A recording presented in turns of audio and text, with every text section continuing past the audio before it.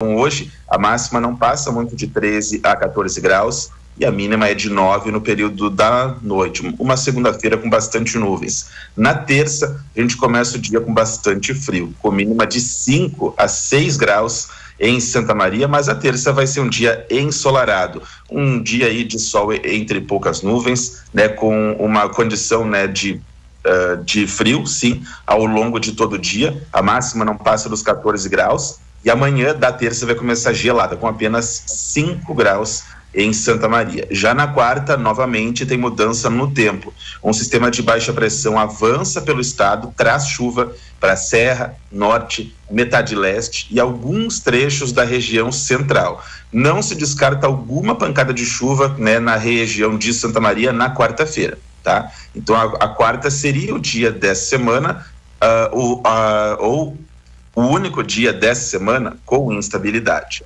Na quarta máxima não passa do, dos 13, mas atenção agora aí da quinta-feira em diante. Quinta, mínima de 6 e máxima de 16.